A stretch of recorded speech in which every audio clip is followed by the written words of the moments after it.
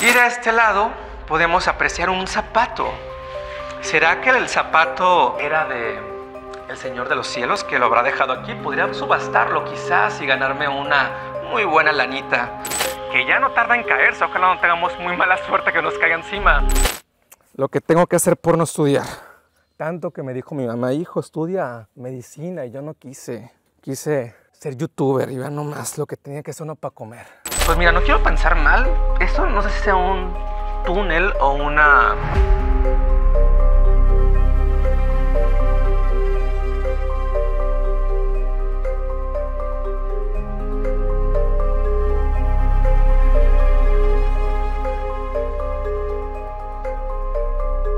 ¿qué tal exploradores? Nos encontramos en una nueva aventura. Quiero que vean a mi espalda esta hermosa mansión abandonada que pertenece nada más, pertenecía nada más y nada menos que a una leyenda, alguien icónico de aquí de Sinaloa, nada más y nada menos que al Señor de los Cielos o también conocido como Amado Carrillo.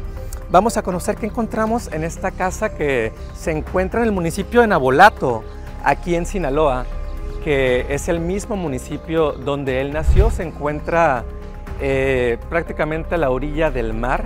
Quiero que vean también por este lado esta gran alberca. Al fondo verán algunos amigos, compañeros exploradores, pero vean esta gran alberca que tenemos aquí. Pues tiene obviamente agua estancada debido a los años que han pasado y que no han pasado en balde, pero pues era una alberca bastante grande y bastante profunda también. Es una alberca bastante, bastante bonita. También podemos apreciar de este lado estos pilares, vean, así como, como un poquito influenciados por la arquitectura romana. Es una casa bastante, bastante bonita. Tenía también este puentecito, este puentecito que, que pues encontraba arribita de la, de la alberca, porque aquí a mis espaldas podrán apreciar un poquito de esta playa de esta bahía que lleva por nombre el Tetuán, ubicado aquí en el municipio de Nabolato, en Sinaloa. Entonces el señor no tenía que quejarse, tenía una vista preciosa hacia, hacia, hacia esta hermosa bahía que la verdad pues seguramente pasó momentos muy agradables. De este lado tenemos una, un área así como un área común, eso que parece como un asador o chimenea, pero no, chimenea no creo porque estamos en Sinaloa y aquí nunca hace frío pero, se encontraba el asador donde seguramente pasaban momentos muy agradables comiendo carnita asada. Esta pues era la barra. Este lugar pues está bastante, bastante conservado a pesar de los años.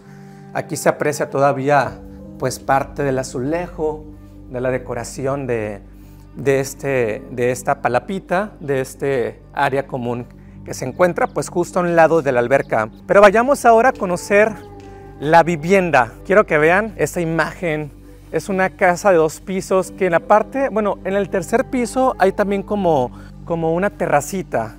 Veremos si se puede acceder, pero por lo pronto vayamos a conocer pues la primera planta porque se ve muy prometedora. Aquí vemos un cuartito que seguramente era como alguna, algún baño, algún baño quizás seguramente tiene, como instalación de un baño, pero de un baño este, sin regadera. ¿Un baño medio? ¿Cómo se llaman eso? Un medio baño. ¡Wow! No puedo creerlo. Vean esta increíble, impresionante escalera. O sea, son esas escaleras que se ven en las novelas, que subes y tiene para la izquierda y la derecha.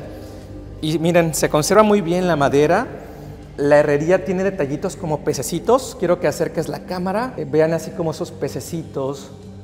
Está bastante oxidada, no les voy a mentir, pero creo que se conserva muy bien la esencia de la arquitectura de, este hermoso inmueble.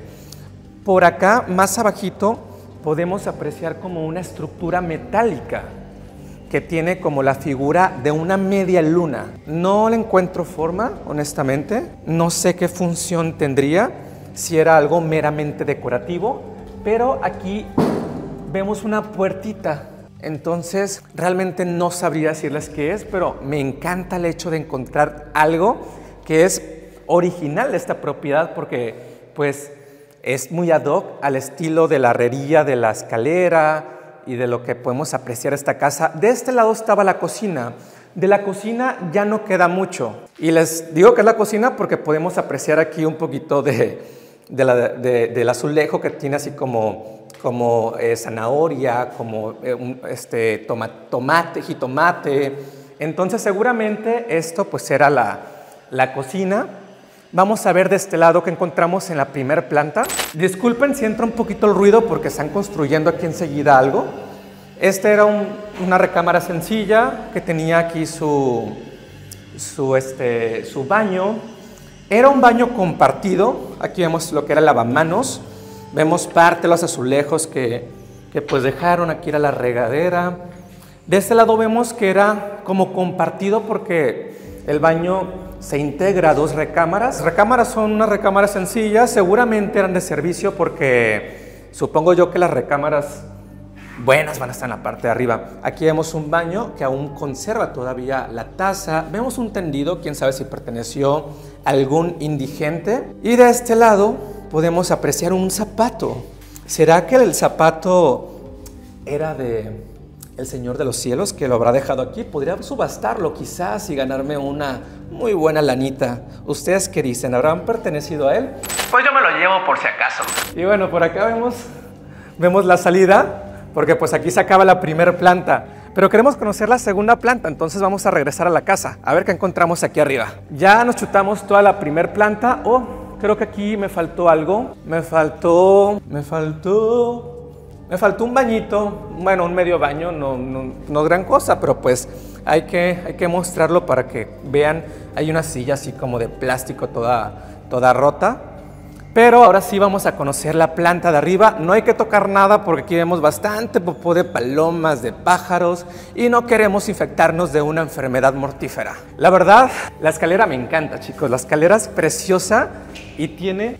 Ah, y tiene este y tiene esta persiana que podemos apreciar que se encuentra ya llena de popó de palomas. Es que estamos en la pura playa, entonces aquí pues obviamente ya es un lugar totalmente abierto, entonces entran constantemente animales y todas las paredes están llenas de popó de palomas, murciélagos y de cuánto animal más. Esta es una de las habitaciones. Aquí las habitaciones son más espaciosas, son más altas Apreciamos también esta cortina, que ya quedan muy poquitos este, pedazos de esta cortina, que se ve que era un estilo muy playero. Obviamente esta habitación pues tenía salida al balcón o a la terraza principal, con una vista preciosa al mar y a la alberca. Y pues vean nomás, se ve que, que no la pasaban nada mal esta gente, ¿verdad?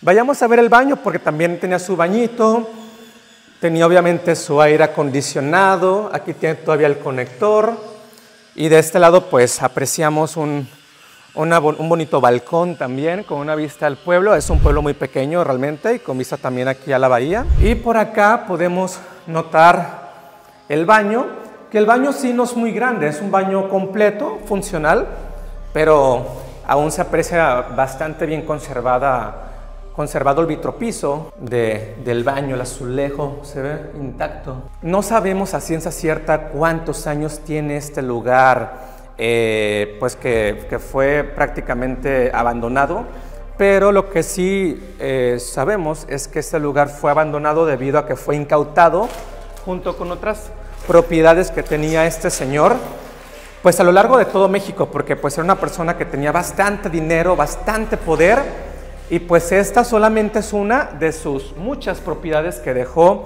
a lo largo y ancho de la República Mexicana. Aquí notamos otra habitación que también se aprecia lo que fue la persiana. Aquí queda todavía esta, pues esta cosita que era para subirle, bajarla. Podemos apreciar aquí también otro baño. El baño conserva, como les había mencionado, el vitropiso en muy buen estado. Y he notado que tiene diferentes tipos de decoraciones el vitropiso. Por ejemplo, aquí vemos un caballito de mar con una concha y una estrella de mar.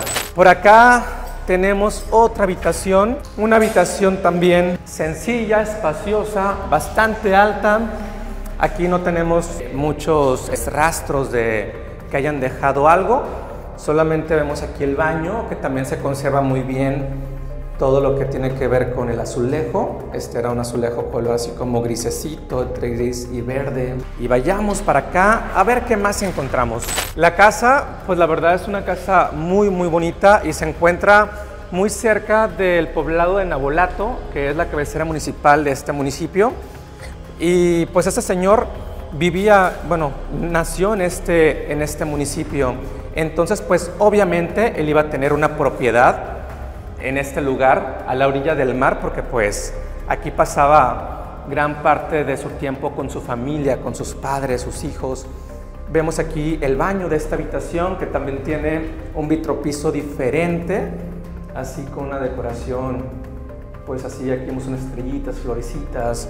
Esta habitación es color rosita, entonces seguramente perteneció a una niña o alguna señorita.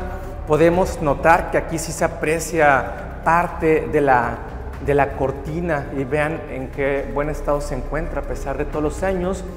Esta habitación también conserva pues la puerta, la puerta que conducía a la terraza principal. Vamos a recorrer un poquito de la terracita. La terraza pues por supuesto tiene vista a la alberca y pues miren aquí se aprecia todavía la, la palma que era con lo que estaba eh, decorada esta parte de la, de la fachada, vemos el techo, que ya no tarda en caerse, ojalá no tengamos muy mala suerte que nos caiga encima.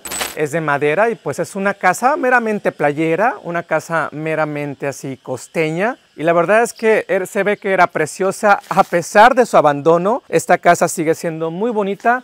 Falta todavía recorrer la parte de arriba porque quiero camarita que muestres la parte de arriba que se aprecia como una como una terracita. Y chicos, eh, pues saliendo a la cocina me encontré con este sitio que era como el área de lavado, supongo yo.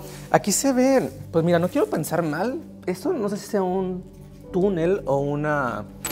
Bueno, no sé este, pero aquí se ve como un túnel. Entonces no sabemos realmente este, qué sea esto, si sea pues una pileta para recolectar agua, cisterna, o si sea eh, un túnel, porque pues esta gente ya ves que acostumbra mucho a construir túneles.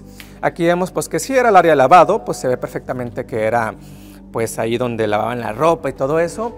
Hay una escalera, hay una escalera que no sé si esta me lleve pues al área de arriba, que es donde queremos ir, pero por acá veo otras escaleras.